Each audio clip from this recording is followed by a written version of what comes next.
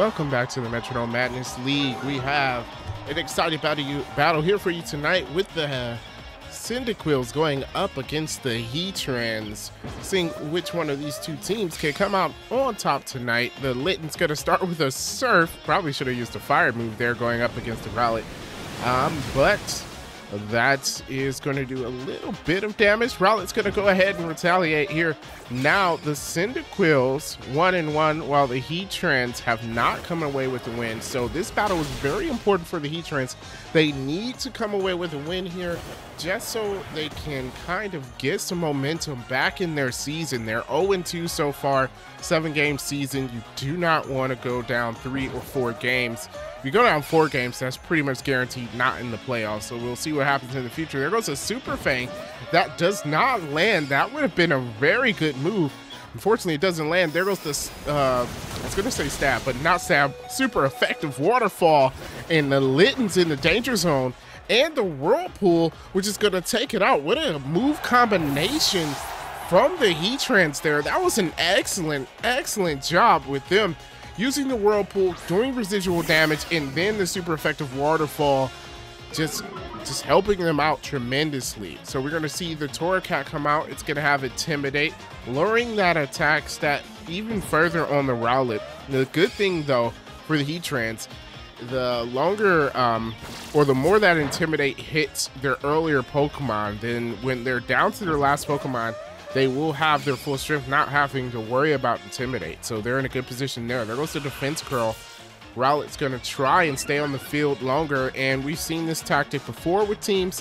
When you, after you defeat that first Pokemon, you want to try and make sure that your first, um, that your Pokemon can stay on the field longer, giving uh, the other team even greater disadvantage. So there we go. Rowlet now going to go ahead again with the corrosive gas. That's going to fail. Torracat needs to get rid of the Rowlet quickly just so they can even this matchup. There goes the acrobatics. That's one way to do it. Super effective flying type move. Does a ton of damage against the Rowlet. Rowlet at about a quarter of its HP. What is it gonna do to in return? It uses eruption. Bad move against the Torracat barely does anything. It is resisted. Not a good idea. Would have been better using a stab grass type move there, even though that's resisted. That would have done more damage. Unfortunate for them. There goes the mud shot. Doesn't affect the Rowlet. It is a flying type. Bad idea. Rowlet gets another chance to do some damage. It's going to go with another not very effective move, the Struggle Bug. But I don't think the damage is the point there that Struggle Bug is going to lower the special attack stat of the Torracat. And I think that's what they were going for. Some of those moves that do damage and change stats are very useful, even if the damage is just a little bit. And here comes Aqua Ring from the Torracat. It's going to heal back some health at the end of every turn. So that's a good idea from them. Torracat might be able to stay on the field for quite some time. The laser focus coming from the Rowlet. There we go. Torracat going first here. I'm gonna go ahead with the Grass Knot. What are these move choices? I'm not sure. Grass Knot really, I didn't, Rowlet's HP didn't even move there. Bad move choice by the Cyndaquils there. Rowlet gonna go with the Harden, raising his defenses even more believe that's the second time it's raised its defenses. But it's going to have to attack. You see that uh, Aqua Ring healing back up Torracat's health. Torracat is almost back all the way up to full. It's going to go ahead with an Extrasensory. And that's going to do it. No, Rowlet, it's, it's still alive. It's hanging on with 1 HP. One last move maybe for it. I thought it would go down there. There goes a stab wing attack. That does a bit of damage after the two intimidates, though. Doesn't do a lot. How did Rowlet live that? I was sure. I was sure it would go down there. Unfortunately, it didn't. Torracat gonna go with an Aurora Beam, another super effective move. Didn't need to be super effective, but I guess they want to make sure this Rowlet goes down. They had a hard time getting rid of it. It finally faints, and the Heatrans are on to their second Pokemon. The positive part for the Cyndaquils is that their health is almost full thanks to the Aqua Ring. However, they've used quite a bit of Metronome just to get rid of that Rowlet, and they may run out of, of Metronomes, uh, forcing them to struggle. We'll see what happens there. There goes the Mist Ball coming from the Torracat.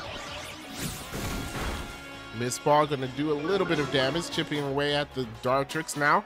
It also lowers that special attack stat. We talked about that before. Here comes the Dartrix with a Blast Burn.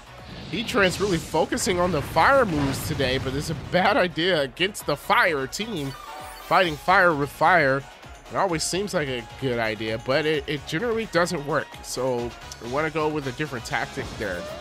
Fighting fire with water is probably better. There goes the slack off from the Torracat, and yeah, it's going to put its HP back at full. Not that it took a lot of damage. I don't know. I think the Cyndaquils are actually wasting a few turns here with the healing. Um, it, you know, in some cases it's good to keep your Pokemon healed up, but right now it feels like they're wasting their turns. Gonna use another cat's move. There goes the payday coming from the Torracat. Reminding you, if you want to support the channel, hit the like button and subscribe. That is the best thing you could do for us here so other people can see the amazing battles. And Torracat going to go again after the swap from the Dartrix. Here comes an Earth Power. Doesn't affect. Gotta avoid those ground type moves. Doesn't affect the flying type Pokemon. Dartrix with another free turn. Here comes the Quick Attack. Not doing a lot of damage. It, it, it's an interesting fight going on here. The Cyndaquils I they've they've been on the field for a long time. They've been able to survive, not taking a lot of damage, but they can't dish it out. There goes the rock throw. That's super effective. Finally, a big hit. Dartrix in the yellow now. But on the other hand, the Heatrans you know, also aren't able to deal a lot of damage. It's like a defensive battle here. As each team just chipping away at each other. The upside is with the Cyndaquils able to keep their HP as high as possible with all the healing. There goes the Horn Leech from the Torracat. And speaking of healing, that's going to heal them even further. It's not very effective, so it's not going to do a lot of damage. But they got some health from it. Dartrix going again, this time a gunk shot. It's avoided. Torracat just, it just won't go down. You can see the frustration on the Heatrans right here as they try again and again, but this this Torracat just won't go down. There goes the dual wing beat. And that's going to do it for the Dartrix. Unfortunate, it goes down.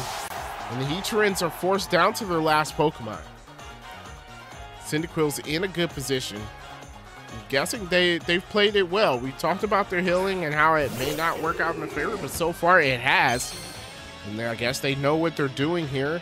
Torracat still has a few turns left in his arsenal. It has full HP. Here we go. There goes the metronome from the Torracat. This time he uses Pound. Doesn't work.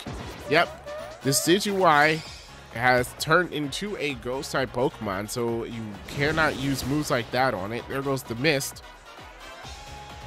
Going to protect itself.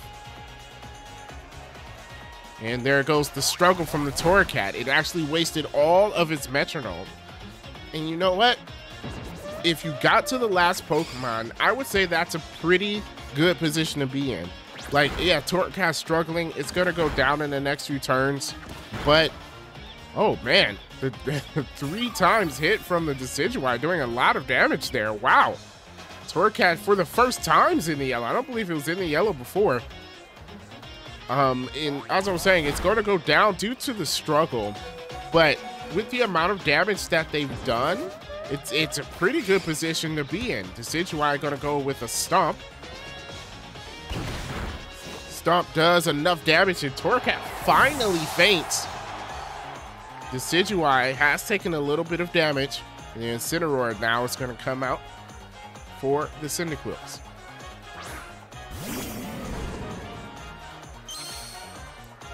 Incineroar has the typing advantage. The Intimidate doesn't work because of the mist. So that was a very smart move. I didn't even think about that. That's probably why the Heatrans used it. They protected themselves against the um, Intimidate from the Incineroar. doing a little bit of damage with the peck there. Here comes the power gem. Decidueye no longer a flying type. It's not super effective anymore, but it does a decent amount. Decidueye in the yellow.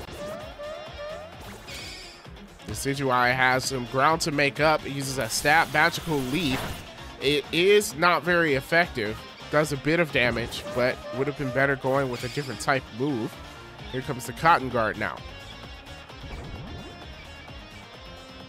Cotton Guard raising those defenses.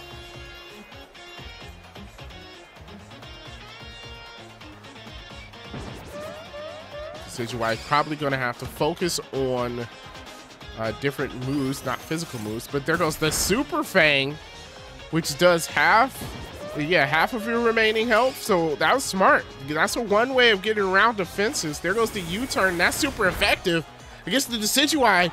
Oh, it lives after a critical hit. Decidueye in the danger zone, though. I am surprised it was able to live. Good job by the Decidueye. What is it going to do? It uses Octazooka. That's super effective. From the Decidueye, and Incineroar is on 3 HP. It's down to the wire. Both Pokemon with just a slither of health left. Who's going to win? Incineroar gets the attack first. He uses a howl, so no attack from it. It's going to raise his attack stat. Wasted turn. You don't need to raise your attacks. Decidueye has like 1 HP left. Just hit it. Decidueye now gets its chance. Here we go. It uses a Dark Pulse, which is not very effective However, with 3 HP left, yeah, it doesn't matter. Incineroar goes down, and the Cyndaquils come away with the win. At the end of that battle, oh my goodness, it came, became really close. For a while there, it seemed like the Cyndaquils had that in the bag, but great job by the Heatrans. First, using the mist to circumvent the Intimidate, and then just using good moves with that Decidueye at the end of the battle there. That was excellent. If you enjoyed that battle, make sure you leave a like on the video, subscribe to the channel. Special thanks to our patrons for supporting us.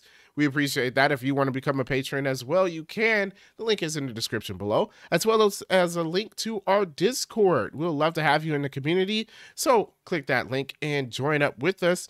And there is a link for the standings and the schedule of Metronome Madness League. So you can follow that to see how your favorite team is doing this season. That being said, thank you so much for watching, and I will catch you next time.